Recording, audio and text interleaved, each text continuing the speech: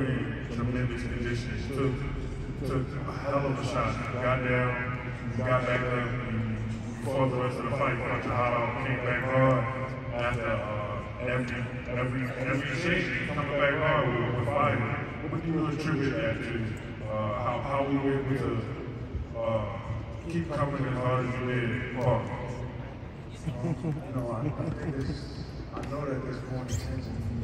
This is a big, big experience. You know, a lot of, a lot of guys, man, you know, fold under this type of pressure. You know, like what Canelo said, he said, oh, it's different with me, man. You know, it's just like the fans, you know, and being in his territory and coming to the West Coast, you know, it sucks energy out of fighters. You know, it makes fighters feel weak. You know, then you look across the ring, it's like, damn, I'm fighting Canelo Alvarez, I'm fighting a legend. You know, so these guys a different type of fighter with a nice, you know, me. I feel like I came, I came to fight. You know, I showed the fans that, you know, what they wanted to see. You know, we didn't come out victory, but, you know, we got the victory. You know, I know after this, you know, it's a big experience for me. It was an amazing show. You know, the build-up was amazing, you know, building up this fight. Um, I'm ready for it all, man. I'm ready for the big nights. I'm ready to sell out another stadium. You know, I, I know I'm, now after this, I know I can do it myself.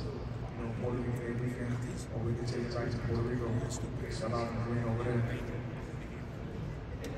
How's it going, Edgar? Uh, Brendan Taylor here, School Sports. Um, coming into the fight, there's a lot of talk about, you know, IQ, you know, and just smart, intelligence.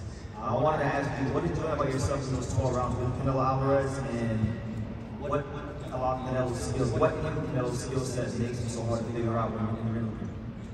Um, I just felt like, you know, I was pouring too much. You know, I could have done more combinations. There's a lot of stuff that I should have said. You know, when I go back to the tape with my team, I don't, I don't know be disappointed in a lot of things, you know, because there was a lot of stuff that I know I could probably like push more on him and push him back and, you know, break his will. But, um, you know, he's a legend, man, you know, so he, you know, he's to weather the storm, you know, and I feel like I weathered the storm very well. You know, I took his best shots, came back, and every time he hit me, I hit him right back, you know, so, it was a fight fight.